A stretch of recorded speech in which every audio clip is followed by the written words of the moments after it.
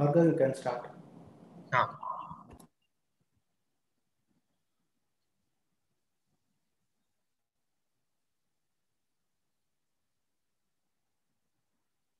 Good morning and welcome to this week's edition of Just as They Teach, an academic initiative by the School of Law at Sastra University.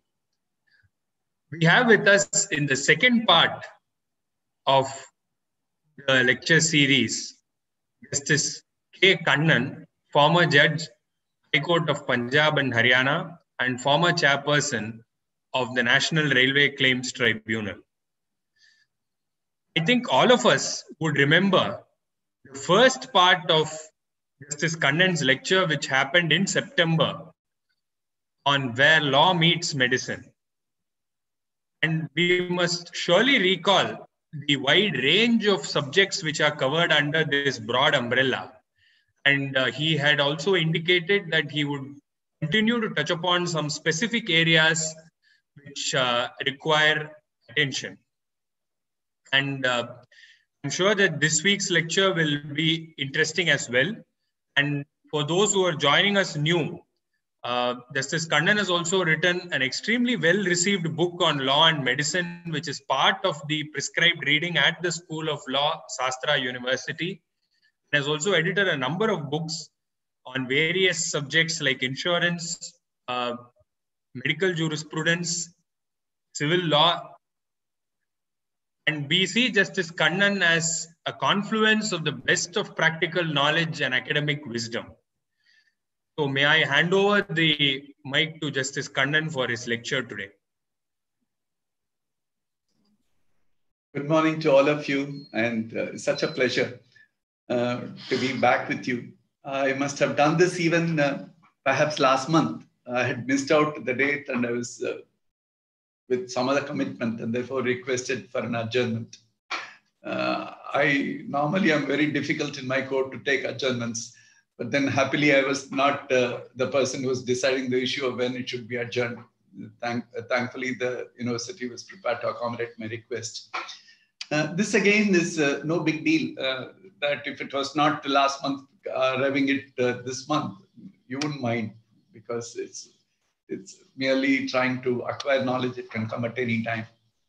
So um, the previous time when I spoke to you, I spoke to you about um, issues of medical education, the importance of what this NEET and uh, uh, what, do, what do we understand, the, the reservation, the things of what happens.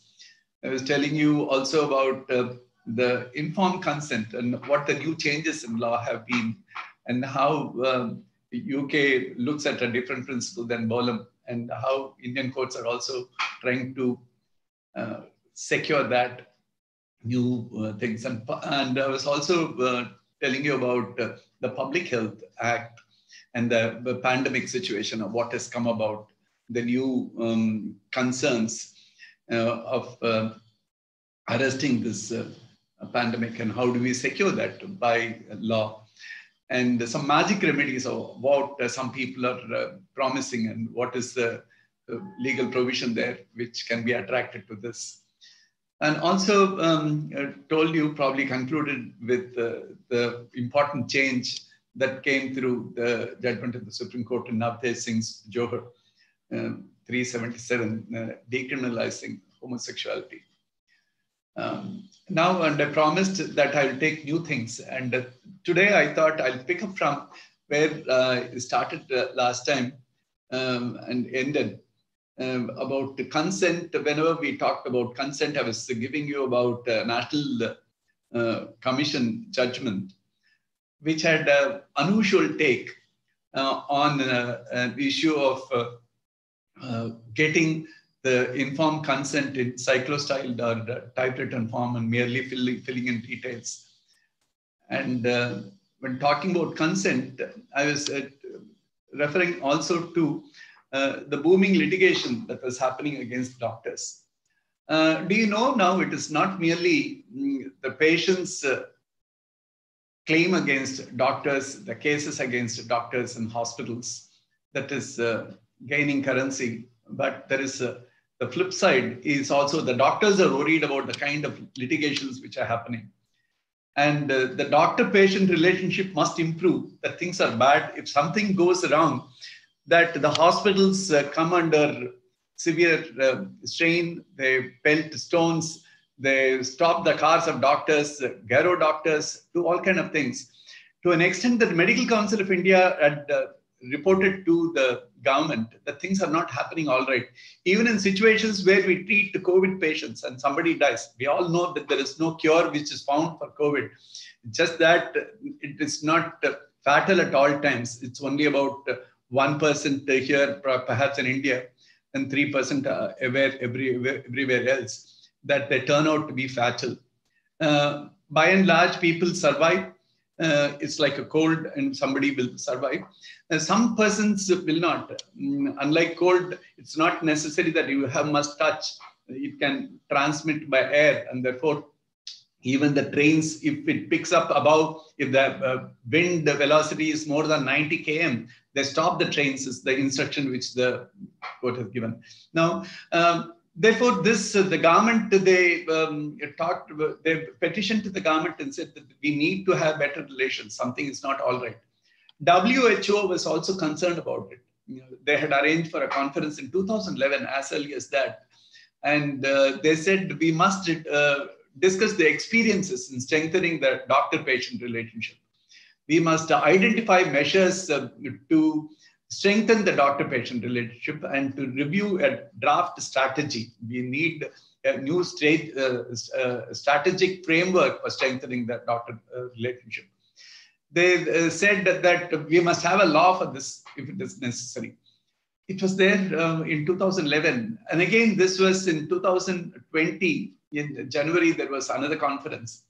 And I was surprised, uh, whatever, whatever was the agenda at that time, this was again the agenda drawn, and I was invited to deliver the opening speech there at uh, Delhi. But at that time, not uh, COVID, but I was seriously ill at the time and therefore couldn't go. I prepared a speech and only sent it to them and reminded at the time that in 2011, you have a conference, an international conference. You frame the, the, the same topic is taken and you have all the formulations, all the recommendations also given. And then 2020, 10 years later, you have the same agenda. How is it happening? if those uh, recommendations had any value and if the government was required to see and if it had not seen, what is the purpose in having another one? Why will you not carry, therefore, a movement to make it happen, to implement? So I don't know how they responded, but I know it happened. Uh, I don't know whether it was because of the January conference in 2020 there is uh, now mm, it came in a different way. Uh, our parliament has uh, several preoccupations. Therefore, to think of a standalone legislation, they did not uh, think it viable. Therefore, they made it Epidemic Diseases Amendment Ordinance 2020. Therefore, you have the 19th uh, century enactment uh, and brought with some key amendments. And that amendment contained a provision. The amendment says it, apart from preventing the spread of dangerous epidemic diseases, of what there are provisions, the, um, the ordinance amends an act to include protections for healthcare personnel uh, to combat, who are involved in combating the diseases. Uh, the protection obtains this way, that no person can commit or abet, uh, abet the commission of uh, act of violence to any healthcare professional and uh, they punish now the punishment which is there for a person is uh, up to a period of three months. And uh, compensation uh, which can be awarded to a tune of about 2 lakhs rupees. The fine was between uh, 50,000 50, to 2 lakhs uh, fine alone. And compensation is independent thing which has come about. This is a kind of translation of the new um, approach to victimology. We, we have even the amendment in the Criminal Procedure Code, uh, which uh, contemplates uh, compensation to victims of uh, crimes. So therefore, we have, uh, it is possible for a court to be granting uh, compensation independently to a doctor or hospital, which is affected by any act of violence against a doctor or the hospital. So therefore, that's a new provision which has come. It could have been an independent act which will prevail for everyone, uh, but it has been restricted only to the health personnel who are involved in this epidemic disease. So what happens now if uh, we find a, a, cure for COVID and if there is a vaccine and we are not um, troubled by this kind of epidemic, but there are other problems still subs uh, which subsist. Um, can this act be invoked? Perhaps not. Uh, so therefore, we must look for something else, um, a general law which would uh, address those concerns. Because uh, I, I receive um, uh, communications, I receive uh, information from several doctors about the problems that they have, how they get taunted at various places. Because I've kept some live contact with many doctors and doctors in organizations, and therefore I get these kind of concerns expressed. And uh, um, it is sure enough a problem is what we must know that uh, in our, because you're all young students of uh, law, uh, as you will at some point of time come, uh, we should be at all times mindful of uh, how the doctor's concerns must also be addressed properly, understood properly, and just not move on a knee-jerk reaction if somebody comes and says, sir, this uh, doctor assured me of cure, it didn't happen. Or uh, I was taken to the hospital, my uh, uncle, my somebody died. So will you take action against them? But there is a, nobody can promise a cure like that. Mm, and if some treatment fails, you must know, uh, was it on account of a very brazen uh, act of negligence which has happened. So therefore, uh, we need to reinforce that kind of uh, confidence for people in doctors and doctors to also have confidence.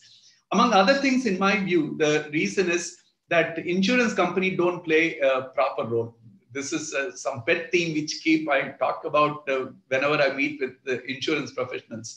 Uh, in a meeting when I was uh, discussing about this, and there was one doctor who stood up and asked, how come, sir, I, I run a clinic?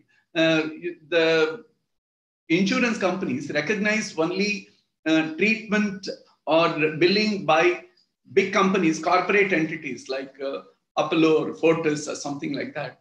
and if, if the person takes a treatment uh, under me, I would have probably billed them about 250 rupees, 300 rupees, and then give prescribe some medicines and left them off. Now they go to this hospital, they charge, they run them through so many tests and uh, bill them in several lakhs of rupees. And that will be reimbursed because that is what employer will recognize because uh, this is through approved hospitals. This approved hospital is a big uh, uh game. It's a, it's a kind of uh, lobbying for these approvals from government and they tie up with the insurance companies and only those insurance companies will provide for a cashless scheme only to those hospitals. They have a list of hospitals at all time. How will it be fair?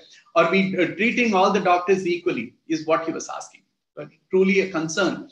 Uh, among other things, even in cases where there is an insurance, where a doctor uh, uh takes an insurance policy, uh, we, we notice that uh, when a claim is made, somebody has something, the doctor, uh, uh, the, it was assured something, it didn't happen, there was negligence. Let us assume there was even negligence.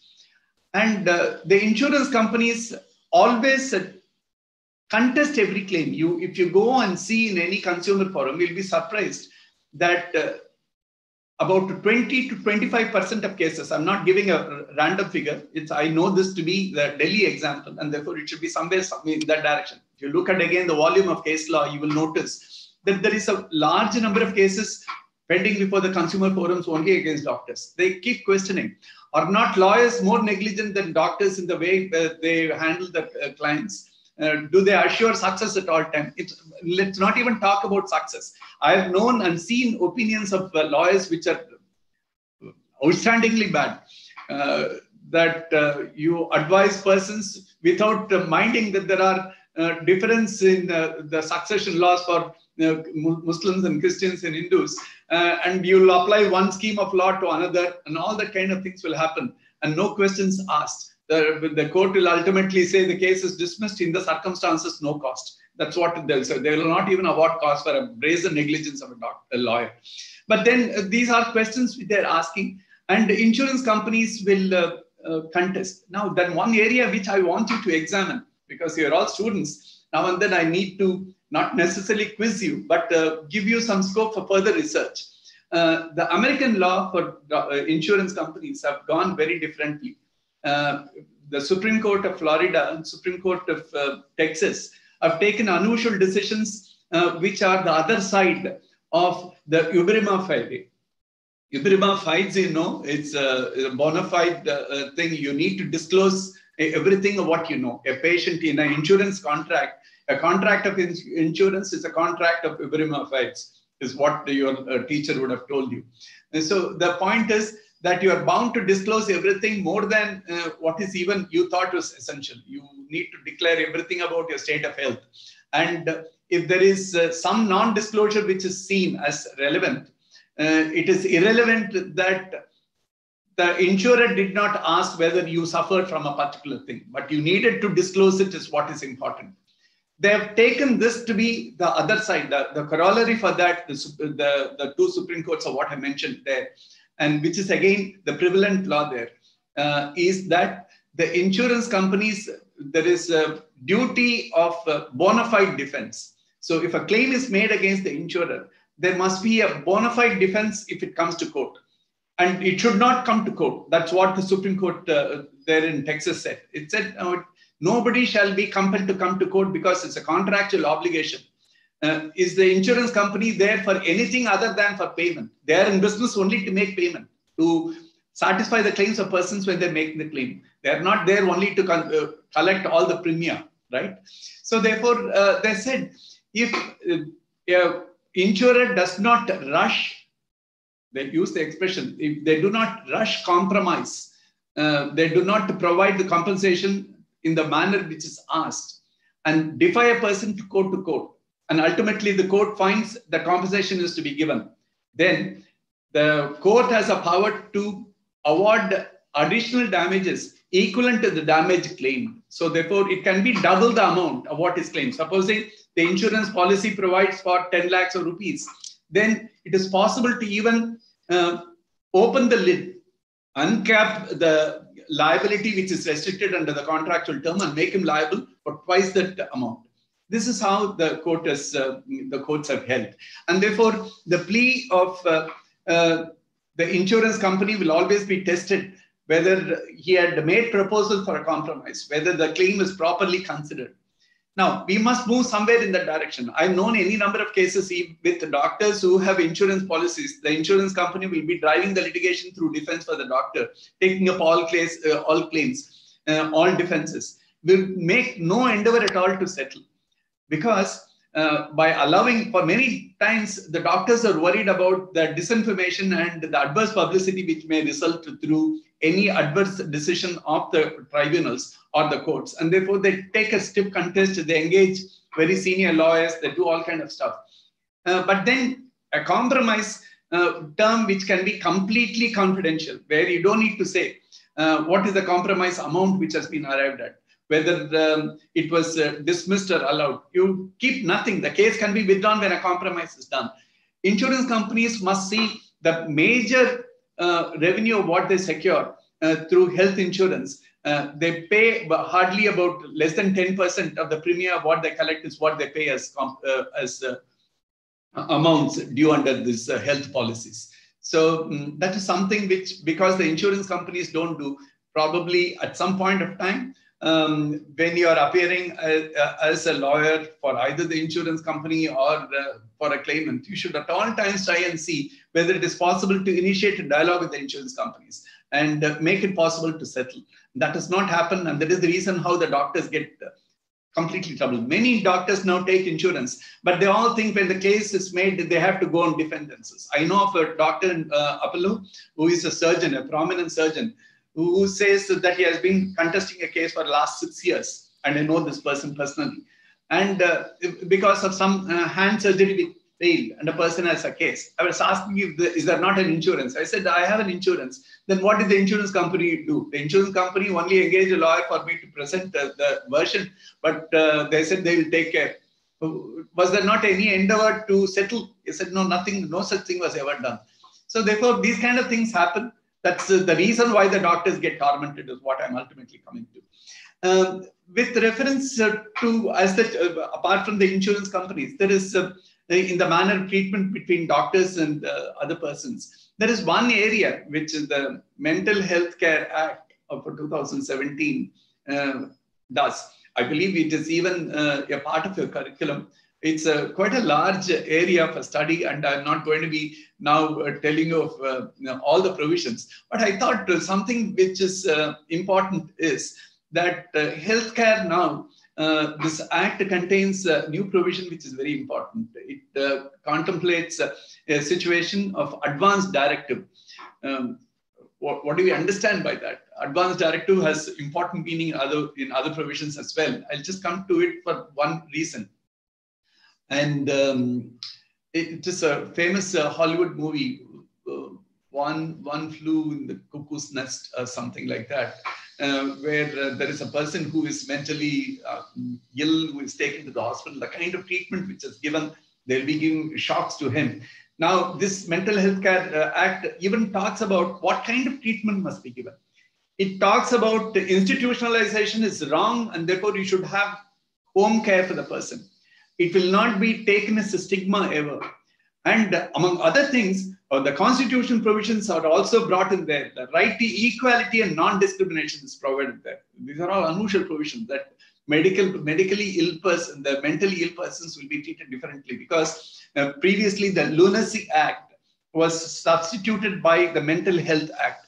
They removed the word lunatic from the realm of law uh, they thought it was uh, it had an innuendo attached. You will not use that kind of a slur against any person. Lunatic is not a correct expression at all. Is mental um, uh, mentally affected mental health care um, health is what they said mental health act. Now even that has uh, not been found to be sufficient. And uh, therefore we have the health care act which looks at it very differently. And among other provisions the provision is uh, shall be treated as equal persons with physical illness that's an important thing. Uh, somewhere there is a reluctance for persons to be saying that is mental. Uh, mental, we use it in all kind of expressions. These, uh, these days, we don't even use things, I was blinded by, faith. We don't use, use even those expressions like blind.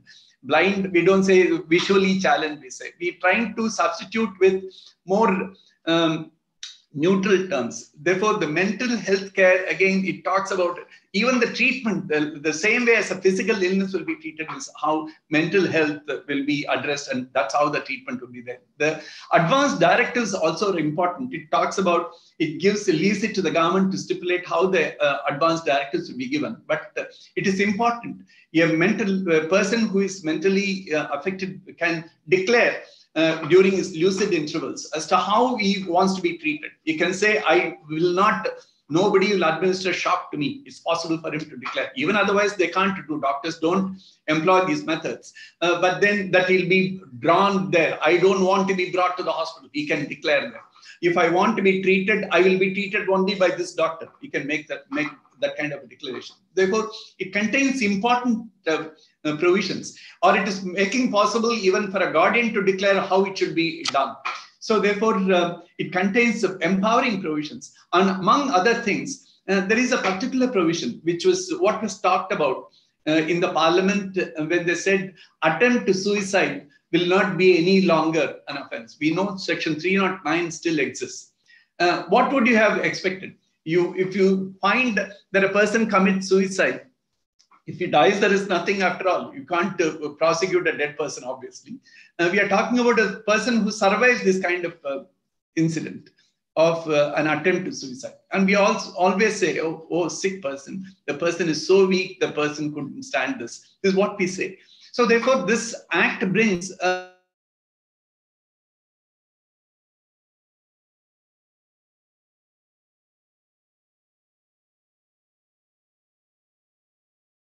the Mental Health Act contains some provision, which I'll just now take up because just this morning before I arrived, uh, your professor asked me to see if I can also make some uh, reference about the men mental health care. Therefore, I'm making some impromptu comments about that when I'm talking about insurance companies do some care for the people. Uh, it says uh, section 115 of this Mental Health Care uh, Act contains presumption 114 Evidence Act con- uh, contemplates some presumptions. Remember, therefore, 114, 115 under the Healthcare Act contains some provision. It says, uh, notwithstanding anything contained under Section 309 IPC, so therefore, you are protecting that in whatever way it exists, at 309 will continue to be there. Uh, it says, any person who attempts to commit suicide shall be presumed, unless otherwise proved, to have severe stress and shall not be tried and punished under the said code. So therefore, uh, under 309, if a person, before a person is uh, prosecuted, uh, you will still see uh, whether this prosecution is necessary. He was in a, such a serious stress that uh, uh, need, there will be a presumption of stress. Uh, look at this. Uh, almost seems like an obvious thing, isn't it? Uh, that a person commits suicide. Can he ever be committing suicide or attempting to commit suicide unless he was in a state of severe stress? Uh, then you somewhere see that stress must again be seen through the prism of what this enactment contains, or what this mental stress is about. To such an extent that a person is in some way incapable of taking uh, proper decisions. Uh, it would seem, therefore, a, a person who is affected by, say, some love failure, which gets to be invariably a reason where people take to such extreme lengths as though life is there only for that love for that person. These are all unfortunate things that you need to be uh, um, canvassing for love in life is fine, uh, but then you don't get it from a particular person. You uh, end up uh, you end your life is an unfortunate thing. It is just that a person required appropriate assistance, and it, it didn't get that. This provision could have been easily even without this 115. This enactment could have provided for repeal of 309. Instead, you preserve 309 and make a presumption. So you, you may be wondering, after all, now uh, I've not known too many cases where attempt to suicide has ever been taken as an offense and any police prosecution is there. It's not like that. You now know, uh, for whatever good or bad reason, some journalist is being hounded for not attempt to suicide, for abetment of suicide. These kind of things can happen. You can you can use that kind of provision by for any reason to create a harassment. All that is possible. In fact, for the same reason, many people are saying if there is a consensual sex between persons of uh, the same gender, uh, how many persons were prosecuted in section 377 was a question. But for, uh, for many of us who are heterosexuals or who do not have uh, homosexual propensities, this provision probably didn't mean anything. It is like the same thing about emergency. A person who was apolitical, person who didn't have very strong views about things, wanted only the trains to be running all right. Emergency was also all right. They were all saying great things about emer emergency. But then who are politically active, persons who had very strong views, strong expression, and the meaning for democracy obtains through dissent. And therefore, uh, if they, they can be affected. The same way 377, if those persons who have homosexual tendencies, if they could be mm, hounded through prosecution, if there is a threat that is good enough, that is or that is bad enough uh, situation, that we will not have any provision of law, even the smallest minority can be affected. And that is how the first judgment was uh, decided. In Koushal, they decided in a way which is completely untenable. The Supreme Court, uh, with Justice Singhvi and uh, probably Mukhopadhyay, uh, they held it's such a minuscule population. What are we trying to do? We will not do anything with the parliament to do. That was a completely um, uh, disowning responsibility when it was required of the Supreme Court to pronounce. And thankfully, we had a later judgment which is reviewed. Reviewed that judgment was an application for review was there, and then they uh, referred it to a larger bench, and you had all the judges uh, writing separate opinions there, except one who went with another, who was always the person who always uh, also uh, accepted, went with the Chief Justice. Now you will read the judgment yourself. You will notice that everyone had very strong reasons to say as to how it was completely wrong. The same way, we ought to have provided for a complete repeal of 3, 309. Instead, we keep 309, say, notwithstanding 309, you have 115 presumption. Uh, it's still inadequate. Uh, I'm now flagging this only because as students, we must be able to look beyond um, a simple statement of law. We should be able to critically appraise things. We should be able to critically examine every provision and say how it is not correct. Cultivate also the trait now for you, uh, even as you're studying, to look at any judgment with a critical eye. Many of practitioners of law uh, will only be looking for, oh, this is a favorable judgment for me. This is not favorable, I'll discard we don't take the next step of seeing how this judgment is wrong. We don't even say about that. If it's a subordinate court, we'll say it is wrong, we'll take it and appeal. If it is the High Court, you still say no, it can go to Supreme Court. Supreme Court is never wrong because it is final. That's the way we approach. we should be thinking that Supreme Court judgment could be wrong in umpteen reasons, for umpteen uh, things. And we need that open mind in academic circles at least. And that is again a pity that we don't have uh, good books and good articles coming from the academic community. If there are books written, they are still written by old people like me there need to be persons, young persons who must be taking active participation and see what is wrong, what is uh, not correct. So therefore, in, in probably in your research, if there is a, a student studying mental health act, they must make a, an article. They must say as to how 115 presumption is inadequate, how it can still be wrong uh, to keep 309 that kind of a scope this surely offers. Uh, advanced directive, I said, and therefore I'll take it to uh, relatively another thing which has come about. Advanced directive, which is coming through this enactment in the Mental Health Care Act, uh, legitimized something. Uh, there was something called as a living will. An advanced directive is also in a uh, in um, I don't know whether it is a legal parlance. In some, probably in a common parlance, it was called as a living will. It may seem uh, an oxymoron. Uh, will is invariably a, a, testament of a dead person. It speaks from the grave. When, what do you mean by living will? Uh, living will is a will which takes effect during the time when a person was living. So how can a will take place when a person is living? Yeah, that is what it is called as a living will. Living will is a kind of an advanced directive, uh, which is uh, brought through advanced directives uh, apart from the act, it gains legitimacy in a judgment. In, uh, in a judgment reported in 2018, Common Causes versus uh, Common Cause versus Union of India. Common Cause, incidentally, was um, Shourie, the Arun Shourie's father, uh, was involved in that as an active person. Yeah, I think he's he passed away a few years back. Uh, but he has brought uh, to center stage several important issues, public issues through decisions. And uh, this, uh, through this decision, through this case, uh, was an attempt to rewrite something of what was brought through uh, case, which was there in Shanbaug, the Justice Katju at that time, at a time when he was taken rather seriously, not like what, is, what has happened now, what how it has degenerated, the way we look at uh, Justice Katju's pronouncements in several places and his tweets. He tweets for uh, finding uh, uh, bridegrooms or brides and things. So therefore, it's uh, at his age he's doing that. But now, if you were taking him seriously at the time, he made a very sensitive judgment about uh, a nurse uh, who was uh, treated badly. This uh, Aruna case, probably everyone knows. And that was a case about a nurse during the time when she had mm, menstruation uh, she was uh, beaten by a club, sodomized, and uh, tied to a chain. And uh, she became um, seriously, she went into comatose state, never to come back till she died a few years back. At the time when the case was decided, she had still, she was still alive.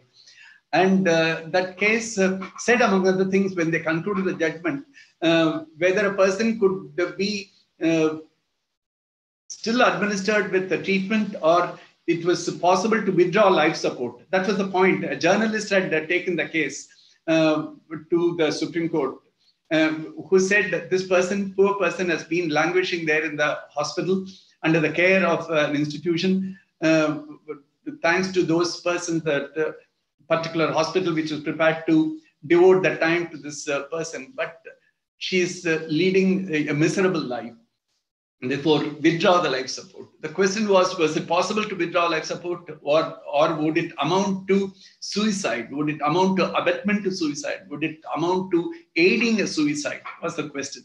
Because um, this is again that a person can uh, embrace death peacefully um, is uh, uh, euthanasia is much discussed thing. In Holland, it's possible for a person to die if you go to the doctor and say, no, my, my life is miserable, therefore inject me medicine to kill me. Uh, it is possible. There is nothing wrong. In fact, somebody in Hol, uh, uh, the example in Holland was translated sometime later. Um, this is also in the book which I have written, um, is there. Uh, when Katrina, Katrina was uh, not the Katrina we know, it was um, it was uh, the name that was given to a tornado or a cyclone probably, where there was a huge devastation, water coming in, beach water coming, sea water coming in and things. Several houses were inundated.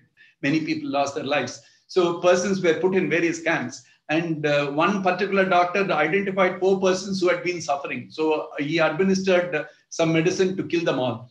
And when he was asked, what did you do? Uh, instead of treating those persons and then uh, uh, helping them recover, what were you doing? So that person said they were in miserable condition. They, they were poor. They couldn't be affording anything. The government aid was not sufficient for them. So I thought I'll dispatch them immediately and then I killed them. That's what the, somebody said. The, the, the court, the American court did not agree with that and said the Holland's principle will not be applied here. So therefore, all these things were also, in Aruna's case, uh, they, they considered that and they said it will left it to the government to decide until the government brought a legislation, the court will decide in every situation whether withdrawal of life support could be done or not. Now, uh, they said in a judgment which was in uh, this common cause, they said it is not necessary only for the court to decide. It is perfectly possible to lay down guidelines. Uh, it is, uh, we all know that uh, judicial activism, uh, the, the good side of it is makes room for the courts to bring out laws, um, set down guidelines where there is a legislative deficit in that area. So therefore, this living will was actually brought even a reference to living will is there. But the pity is the kind of judgment which you, if you only read, uh, it's written again by uh, all, uh, it's a five member, five uh, judges uh, ruling. Uh, you find four judges have given separate opinions with the Chief Justice Deepak Mishra at the time with Khanwilkar saying yes to him. Um, such the, the first paragraph, the, the first judgment itself runs to some 135 pages. And such a difficult method of giving reference to it. I was asking after this judgment because I passionately advocated for passive euthanasia, uh, withdrawal of life support, and I've assisted the Pandit, uh, the PGIMER at Chandigarh to have a protocol for withdrawal of life support. Actually, if you go to private hospitals, they will not let a person die. Or if a person has died, they'll continue administering medicines even after a person has died because it's going to increase the bill a doctor hearing this who is associated with any of the big corporate hospitals may you maybe you, you'll take serious umbrage at what I'm saying. But that is the truth. They don't easily let a person die. But in government hospitals, just as the person is dying, they'll find a pers- way of jettisoning that person because you need to uh, admit yet another person. There is always a suspicion, therefore, of patients and the families whether the best treatment is given in the government hospital or they're finding a method of putting out a person in order that the bed is occupied by somebody else who is known to some doctor or known to some politician or known to some big wig. So these are uh, bigger issues, and therefore you need to have definite considerations. In this advanced directive, what they said, um, if only this this is to be applied, uh, that person would die by merely knowing what kind of directive has to be. If you and I must think, let us leave some young boys like you, you or girls like you won't mind, you won't think of advanced directive. I must be thinking of those kind of advanced directives at my age, do I not? So there, it requires, uh, uh, I need to uh, have this advanced directive made and it has to be authenticated by a doctor. So the doctor must first say that I'm in a position to give the directive at a time when I'm not afflicted with any serious uh, uh, mental condition that clouds my proper thinking and objective assessment of why I'm saying the directive must be there.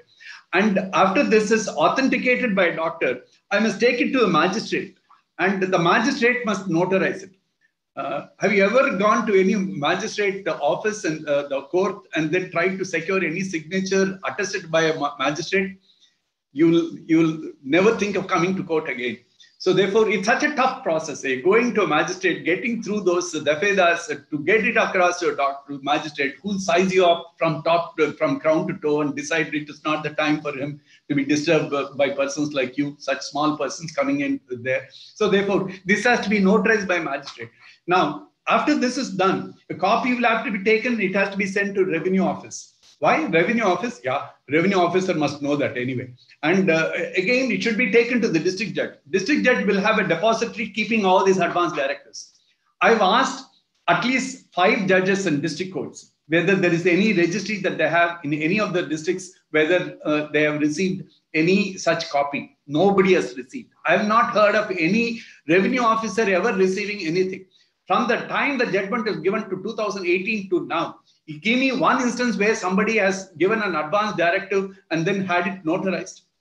An impossible judgment. A judgment which is so important is giving such directions which are hopeless, hopelessly difficult for anyone to have a directive implemented. I had a strange experience. I was addressing a group of doctors at uh, Punjab University for a lecture uh, last year.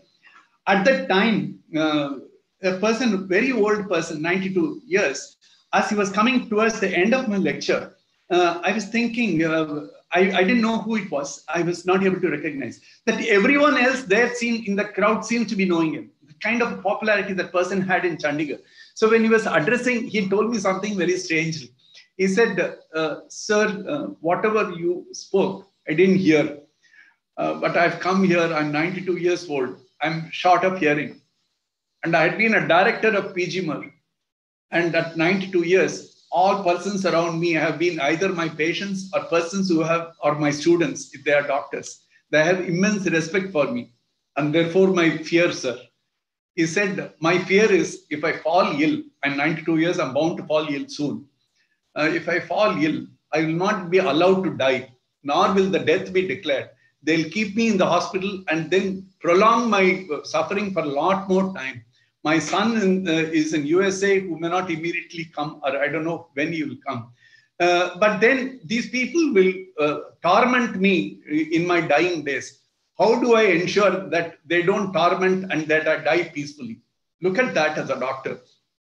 He also told me, You don't need to give me any answer because I can't hear you send it by email to me or what I'll do. I had the 2018 judgment. When I, if I were to write the 2018 judgment and give also the reasons, I thought would die immediately. I didn't therefore uh, refer to that. And I gave some direction. I don't know what he did. God uh, let him live for 100 more years. He's still there. So therefore, these are the concerns of persons who even want to have those advanced directives implemented. Now, if you have a, a reason for common cause to be applied, probably it's very difficult to apply. Uh, there is uh, uh, another area of what I have discussed previously in my book and what, where from where um, I'm only addressing those things where we have taken from the time of what I have said in my book to several things which have changed. I've only identified those areas. Uh, now, on surrogacy, my concern at all times have been that we have no law and therefore um, we are uh, driven through ad hoc uh, approaches by the courts. And there was one uh, baby Manji's case where uh, a Japanese couple had uh, entered into a contract surrogacy agreement with some person. The child, when it before the child was born, and the Japanese couple had separated. Therefore, only when the child was born, only the father, the, the man arrived. The woman had by that time divorced her husband. Therefore, she was not interested in claiming the child. So the, how, how do you take back the child? How does the, the original permission had been, the contract had been with another person. So therefore, an application had been filed in court saying, I brought my mother who will take care. The, the man had to declare that uh, he is uh, uh, employed somewhere and uh, the, the home care will be given by his own mother. Uh, luckily for in Japan, the average lifespan is very high and therefore an old woman at 80 is still a young woman there. So therefore, it was possible. The court also accepted, yes, the child can be given there. But the problem was, it, uh, another instance of what had happened through Nevada was uh, that they had a uh, agreement, they had a surrogate child. When they went to uh, Japan, there was a problem about registering because Japan does not recognize surrogacy. So surrogate ag- uh, agreements it does not recognize. Therefore, they were unwilling to take back the child and said that the child cannot be brought, taken back to USA to where the child came from. So therefore, I don't know what had happened to this child, uh, which whose father ob- obtained uh, permission from the Supreme Court. But then that, that, was a situation of uh, allowing for surrogacy agreements without knowing what is the status, what is going to be the status, can the child be easily taken away? Now look at another case in Janba. Uh, there was another case from um, from Gujarat and uh, this was about uh, in the district of Anand. Uh, a German couple had uh, uh, entered into a surrogacy agreement with a local person, and they had twins. uh, the, the surrogacy uh, agreement uh, yielded ultimately on implantation and the fertilization of egg in the uh, woman, uh, an Indian woman there. She had twins and she didn't want to be burdened with these uh, two children. So she abandoned these two children and went away. After delivering the child, she had collected whatever money was offered and she had gone. The problem was the the, before the children could be taken, the birth certificate had to be taken because you'll have to apply to the embassy. The embassy had the birth certificate in uh, the corporation, the municipality there in Anand, had recorded the mother, the biological mother who gave birth to a child as a mother, and the father's name, the German. Imagine, uh, as though they are husband and wife. The, they didn't give the other, the German wife as the mother they gave the name of this person. Therefore, an application had been filed before the municipality for changing the entry, substituting the Indian mother's name to the German mother's name because the German father's name had been given as the father. Uh, the municipality didn't do, therefore went to the High Court, from there to the Supreme Court. Supreme Court has passed some interim directions. It has not been disposed of yet, it is still there.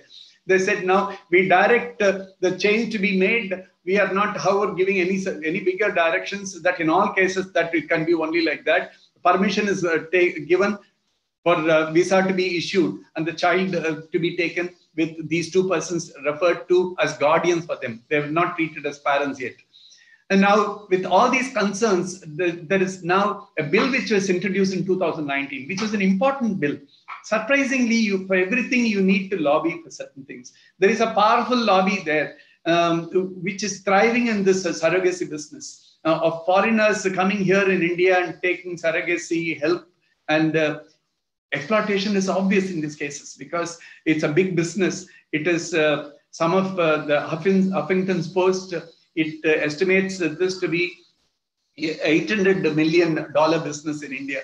And that is the kind of money which the hospitals and the doctors are making through surrogacy agreements. Some places in Madhya Pradesh, in Gujarat, and Mumbai is very prominent. A lot of activities, a lot of hospitals uh, deal with this. And this 2019 um, bill, it was introduced in uh, the Lok Sabha on 19, 15th July 2019. Unfortunately, um, it was it was passed fortunately. And then, uh, but what had happened was when it went to Rajya Sabha, was, uh, they referred to a, a committee for uh, examination. So therefore, uh, it has gone. That bill provides for only um, there can't be um, altruistic, uh, there, uh, there can't be commercial surrogacy, obviously. That's how the legislation will look at it. Uh, same way that uh, transplantation can't be for commercial uh, consideration. And they said also, among other things, um, only relatives can be donors. Uh, can be non-relative cannot be the same way as you, the, the inspiration probably came through the organ, organ transplantation act. Only relatives could be relatives who are altruistically inclined can be donors. And uh, could be, uh, and the persons who can obtain this uh, could be only heterosexual uh, persons. There should be heterosexual Indians, which means a foreigner cannot uh, come and take thing. Of those examples of what we have, there was also uh, one Israeli hom homosexual, two males who arrived in India to have a child. They took it back to Israel. Israel is again not a country which recognizes uh, surrogacy. Therefore, it was in some court litigation. So, uh, hospitals which register for uh, surrogacy arrangements, they don't even see whether the persons who are approaching them, they are living in a country where surrogacy is accepted.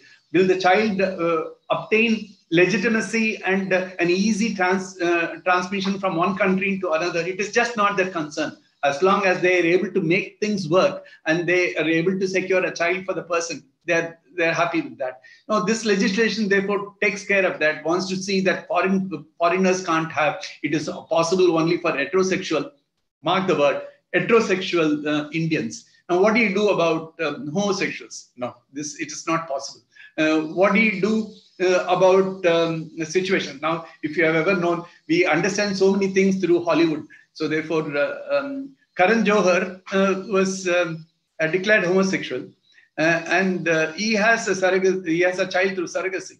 Um, so therefore, if this law had come into force, he couldn't have had. Sushmita Sen, uh, a world beauty, uh, has a child. She is not married. So it, it wouldn't have been possible. It is possible only to those couples who, are married and who do not have children for a period of five years.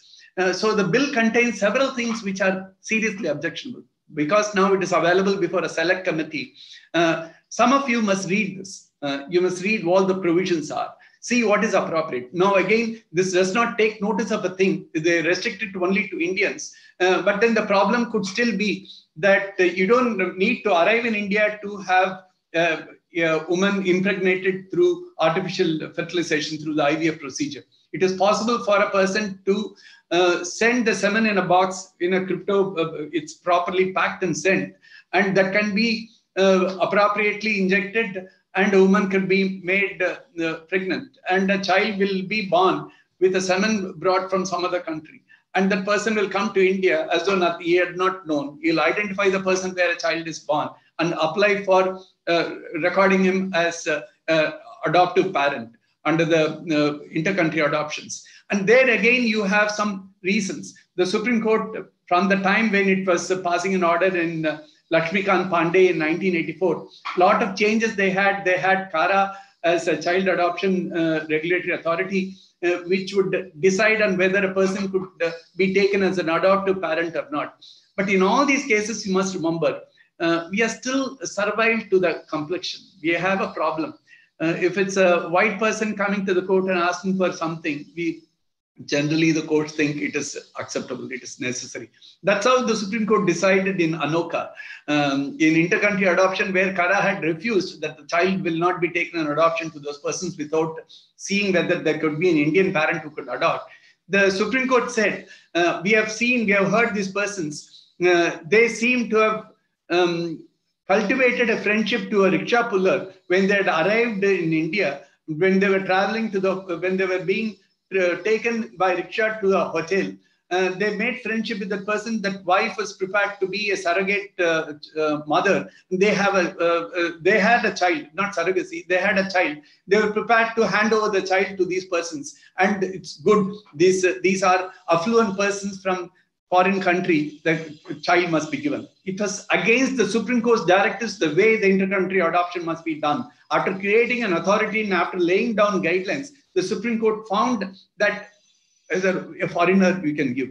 That's what would happen at some point of time. So therefore, these kind of, even in the bill, because it has not become an act, which is an important area for activity, legislative activity, it does not happen. We'll probably consider that and see. And uh, and uh, I, I, would uh, probably there is one uh, one area which I will say, and then because I see that I'm coming close to my uh, time allotted time, uh, the forensic uh, issues of evidence. I think you, you, must know that's an interesting area. more so now in the way post Nirbhaya, we have criminal law amendment which does not require penetration of the sexual organ. it is possible to um, in any of the orifices of a person, of a woman, uh, if a person uh, places finger in a ear even, that could uh, that could be an offense under section 376 and will fall within the definition of 375. In Sakshi at the previous time, uh, non-penetrative uh, intrusion against consent was sought and there an argument was made that must also be declared as sexual offenses and 375 as it had happened in other countries. The Supreme Court rejected the plea and said now it has to be taken, a, de- a decision has to come through this, uh, the parliament. And the parliament has come through that.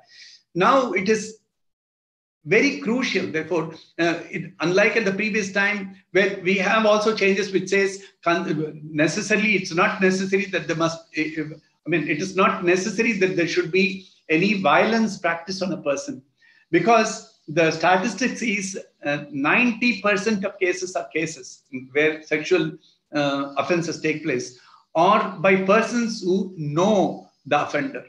Or, and in respect of uh, children, it's even more. It's somewhere close to 95% of cases are cases which are done by persons who are known who have known them.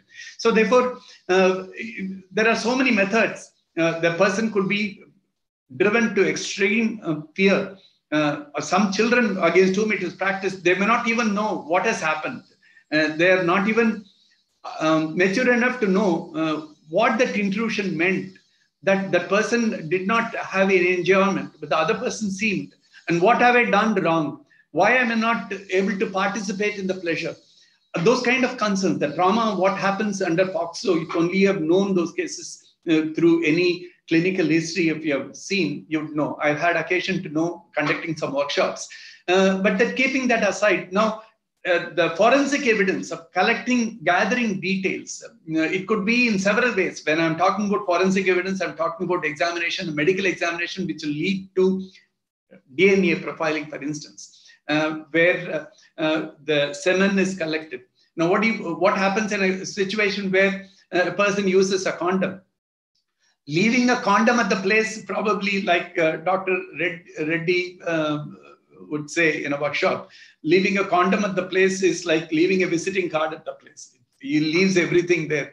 So uh, it's not like that. Then there could be uh, a digital evidence of phone usage, um, the internet usage. Uh, what is he? What is he uh, normally viewing? Uh, what are the communications which are sent? And the use of the social platform like Twitter, the Facebook. Uh, what are his interests? to look for every Instagram or the bite marks. Everything obtained enormous significance. And all these have significant uh, scientific advancements. Uh, they are now trying to say in cases where uh, there is a mixture of semen with the fluid of the woman, it is not very easy. There is a probability of how we must give. The reports will have to be very clear. And therefore, uh, the in a special committee for the advice to the president, US president, they've given reports as to how the opinion must be written. In many situations, you will find unusual assertions made by doctors that this belongs to this person. In kind of DNA, while a child, whether it is the child of these two persons, there can be a hundred percent um, correctness. But then when we are talking about whether it is this person's semen which is there through DNA, uh, whether what is seen there uh, was it uh, referable to this person, or when there is a kind of a mixture to split and then examine whether it is of these two persons and what they are. It could be somebody else also. So therefore, there have been situations like that where uh, several decisions had been reversed in foreign countries looking at the ultimate scientific evidence. And DNA is uh, not 100%.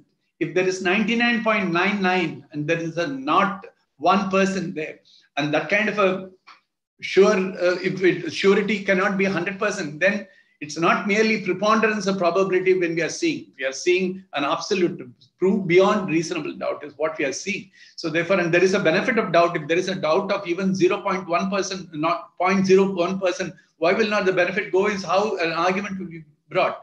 So look for every other forensic details of what I was saying, the port connections and all, all that will become relevant in these days when we're talking about forensic evidence.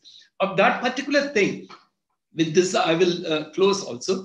Uh, of bite mark, uh, bite mark evidence now, um, there is a, we have a, a, lot of difference there, the way we understand. It's a kind of a pattern. People believed that uh, uh, matching a bite mark with a particular uh, dentition, we are talking about dental dentition is what we say, with a particular dentition will assume significance because a human dentition is unique that was the assumption.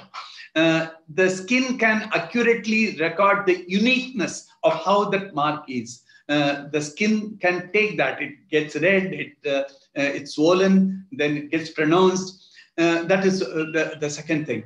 And now this, this can again be, these assumptions were found to be not scientific. They said because a skin can be stretched at the time uh, the, where a person is pulled by other side in a stretched condition what could happen so these are uh, sure problems and uh, bite mark is now ultimately the american association forget about their elections and their the inability to do it properly uh, but uh, doctors and other persons the research of what us is prepared to give is enormous uh, and uh, exceedingly important that we understand through how the researchers have gone. They said this is completely wrong, it is flawed. Bite marks have nothing unique. Uh, the dentition is, not, is again nothing unique. You won't be able to say anything. They are reversing all decisions on the bite mark.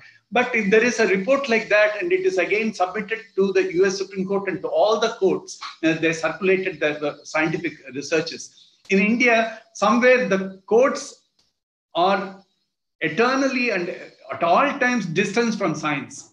Uh, we take several things which are unscientific. And in a Supreme Court judgment in the Mukesh, this Nirbhaya case, uh, you know, the, the words expressed was uh, something like this. Uh, this is in Mukesh versus State. That was in 2017 uh, judgment.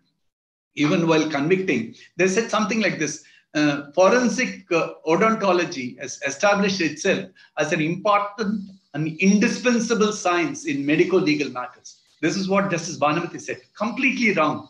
It is not at all correct. By the time when she wrote the judgment, there was already enough proof, and all decisions were getting reversed elsewhere. And the same, uh, we were applying it there. And uh, in fact, even in my previous book, in Modi's jurisprudence, I said, now this is, I pointed this out. I had missed out. That's where I uh, missed out important scientific discoveries by the process. That's not the way. Uh, that is not even correct. And again, the same way in two finger th theory, uh, whether a person, a situation where sexual penetration is not necessary, uh, that's completely becoming irrelevant whether a person attempted to insert uh, any part of it in vagina. That's a different thing. But the Supreme Court again says something where it had discarded even early in 2002 that two finger theory, whether fingers uh, or uh, they're easily admi uh, admitted in the vaginal orifice. It's irrelevant, they said. But the Supreme Court says later, the medical evidence shows that labia majora, and this was in uh, Kishan Kumar Malik, uh, they legitimize every investigation of what is deeply flawed and incorrect. So therefore, these kind of decisions, when they happen, they happen because wrong arguments are proposed and the judge does not know. That a judge does not know is not un unusual. That's perfectly legitimate. I've declared it many times. I don't know, please guide me. The lawyers are supposed to know, do that research and come there. A judge only knows several cases and your case also. But your case, you must know better. So therefore, the lawyer's ability is invariably the reason why a good judgment gets to be written. The bad judgments or wrong decisions come about because there is poor research. And that will not be party to that kind of research is what I would think. And um, I also said, why do men rape? Uh, why a person, a, a, a, COVID patient who is taken to the hospital uh, in an ambulance, uh, stopped, the ambulance stopped midway. The person, the driver commits a rape on the person and uh, deposits the person in the hospital.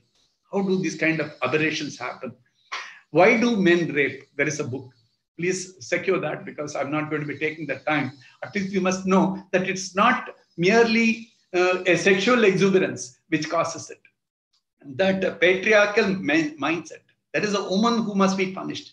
If there is a person who threatens that uh, uh, Muralidharan's daughter will be raped, is not, you wouldn't have even seen the daughter, but he will still say that because he wants to insult, he wants to show his power. And this uh, uh, men raped uh, identifies is uh, undercover. There is a lady who has examined several, went to several uh, houses who have been rapists and found out why are they doing this. The persons who are invariably persons of very low esteem in themselves, who wanted at all times to bully because they can't do anything worthwhile. How they were treated, how their families treated the women in their houses, how every one of these factors contribute, not necessarily sexual uh, inclination. That's what the book reveals. So therefore, um, these are some of the developments of what are taking place at 12, not 2. I close. So therefore, uh, thanks for this wonderful opportunity. There are ever so many things which have simply started and then I concluded there. I'm sure there must be occasion for us to be uh, meeting some other time at some point of time when we'll always meet. And to ask and to secure more, I'm sure we'll be able to gather that. So I'll leave it to your professor and uh, to Amrit uh, to take me wherever they want me to take who, whatever questions I need to handle. If I will, if I know, I will answer. Thank you very much for this opportunity. Thank you very much, sir, for this two-part uh, lecture on uh, the subject of law and medicine, especially the illustrative uh, analysis and the remarkable incidents which have happened both in the field of science and law as to how this jurisprudence on this topic has been shaped and is growing and evolving. Something that uh, we have been able to understand. There are a few questions from the students. And before that, uh, there is probably uh, just some information to share by Srishti Pandey, who's a third year uh, BA LLB student at the law school, at Sastra Law School. I would like uh, I would like to point out how John Grisham's The Rainmaker checks every box of the insurance topic that uh, you were addressing. It is a legal drama where a young lawyer fights for an insurance claim of a young boy with leukemia against a big insurance company with a big lawyer at his help. So this is something that she wanted to share. Coming to the questions, coming to the questions, uh, there is one there is one question on would adopting a surrogate child set a bad precedent when it comes to raising them in nations which do not recognize surrogacy and consequently surrogate children. This is from Akshaya Sagarika, who's a fifth year BBA LLB student. Along with that, I think my question also, what I wanted to ask, uh, is also related to that. The cultural sensibilities and sensitivities of uh, commercial surrogacy in a country like India. Yeah.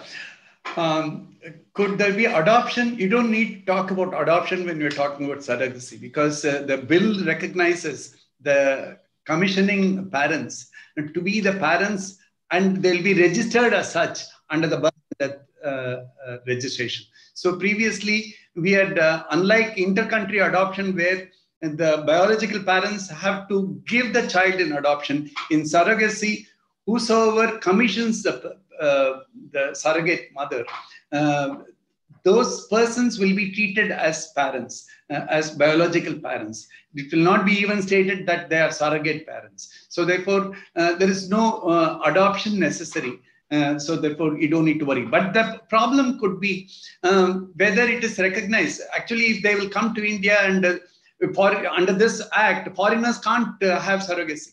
If the act comes, it is not possible. Right now, it is all taking place, and they adopt ways which are um, there is no sure guidelines. Lack of legislation makes possible any kind of adventurism. That is what is happening.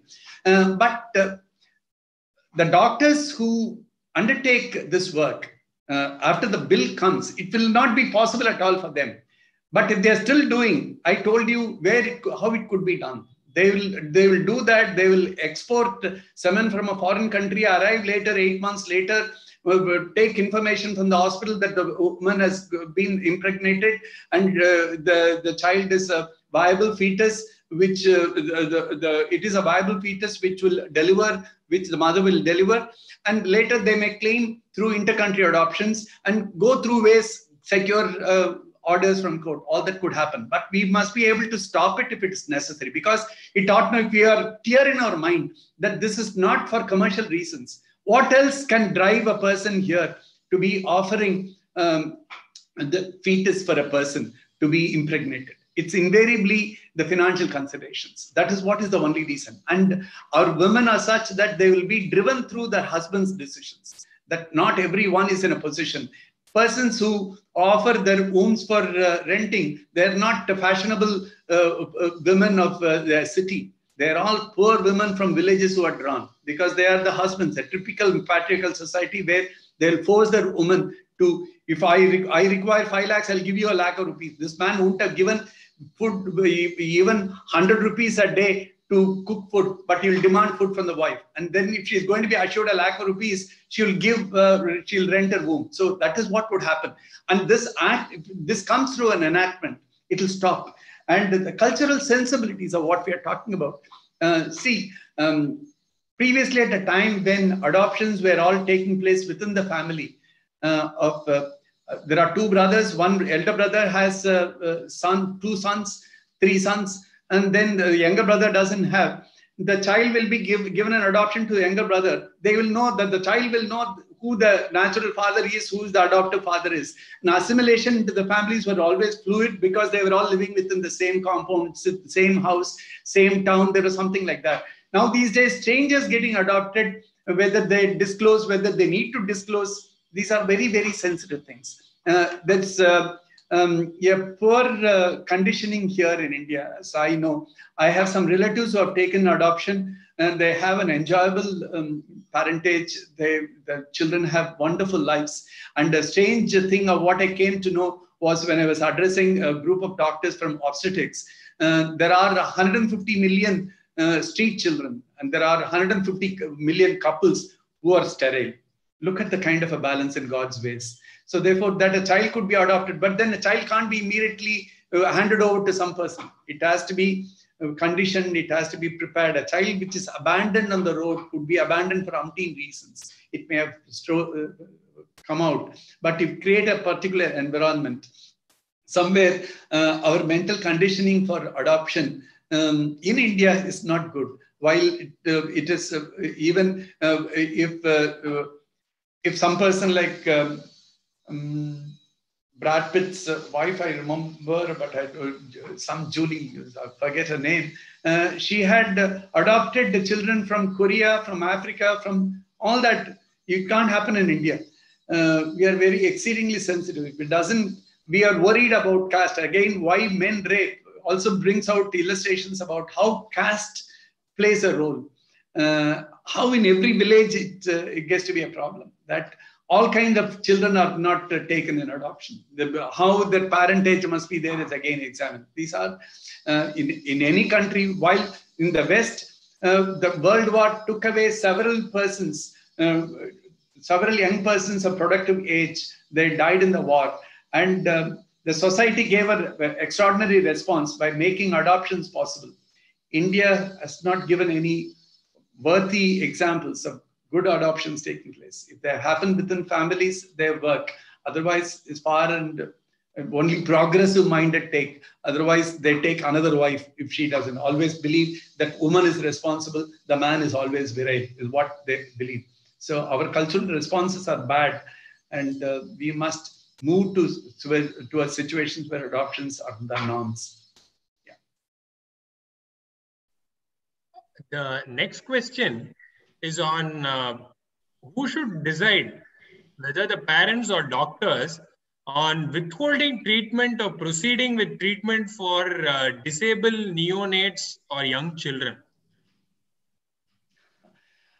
Uh, tricky because uh, I've known in Chandigarh um, a pediatric surgeon telling me um, many chil uh, children, see, you must know the incidence is fairly high. It's about 1% of children are uh, born with uh, ambiguous genitalia.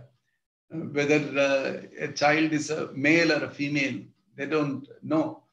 And there is a, a judgment bearing an Indian name, Money, uh, from USA, where at a very young age, the mother decides that person will be a, um, will be a male so it was a child born with uh, ambiguous uh, genitalia. And uh, as the person uh, was growing, uh, no, I, I, think it's a case where uh, it was born, the, the sexual, the sex that was assigned to the person was, yeah, was a female.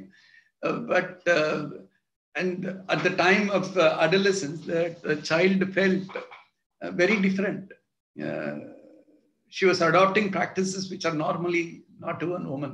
Pardon me if I say so. That, that was a person who felt comfortable passing urine standing. This was uh, seen to be surprising.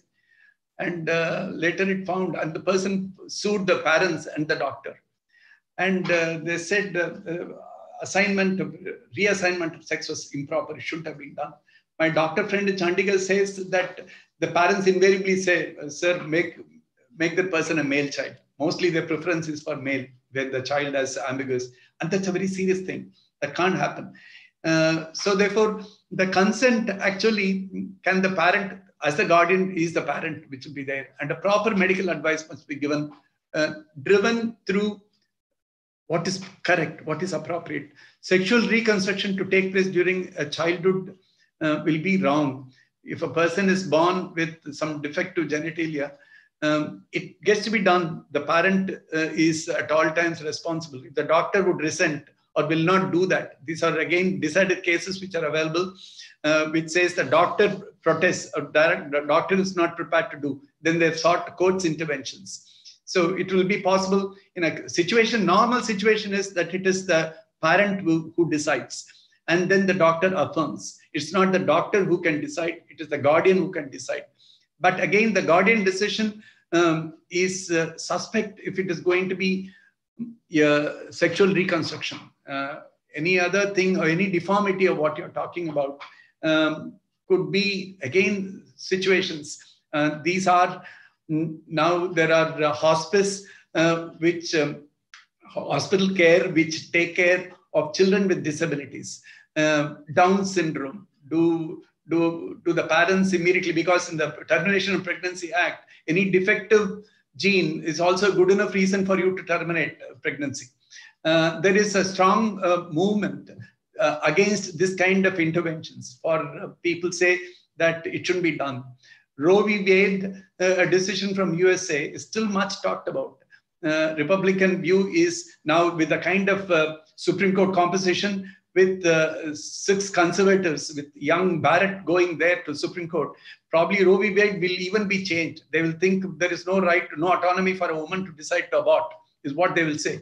Because Christ has delivered the child, why would it be taken? So these are tough decisions. Um, so I, wrote in a, uh, an article in the Hindu paper, and uh, where I said the tricky question of abortion of what I wrote there uh, a German example of counseling before you um, administer abortion. Uh, whether a person has autonomy to decide, whether a woman who is bearing the child will have an autonomy to decide to terminate, uh, was the question. And I said, uh, uh the uh, abortion period must be reduced from 20 weeks. It should from 20 weeks they must raise it to 24 weeks, or in other situations even to larger things, longer months uh, when uh, the courts were grappling with the difficulties, I wrote an article and I was severely criticized that counseling is wrong. A woman has a right to decide. The women's organization took up in arms. Hindu paper allowed uh, responses in the letters to editor column literally for one whole week and then brought a separate box item criticizing my article. So therefore, these are tough decisions of who will take decision. The parent will, who will, the parent will take a decision as a guardian, they will be. Will that be final? It will not be. Court as a parents will decide. Can the doctor decide? Doctor can't decide. So this is my response. Uh, last question is from uh, Sharada Darshini, who's a fourth year uh, BCom LLB student despite the mandate under the Transplantation of the Human Organs Act, only altruistic donations can be made. There are, there is a there are wide there are wide uh, organ uh, donation rackets that take place, uh, especially involving poor illiterate people. Uh, in, in these circumstances, what are the remedies available, especially when they're cheated by middlemen and uh, there is loss of organs? Uh, of the states in India, um, Tamil Nadu records the highest incidence of transplantation. The good part of it is that much of, his, much of it is uh, uh, driven through altruistic uh, exercises. I know of um, a recent uh, situation of uh, a relative, a distant relative of mine, where that person was dying. They offered the organs to be harvested the moment I knew. And again, a very prominent person, I'm not too sure whether I can reveal the name, somewhere close to my office, and a person, uh, a business uh, person, when he fell down and had an injury in the brain.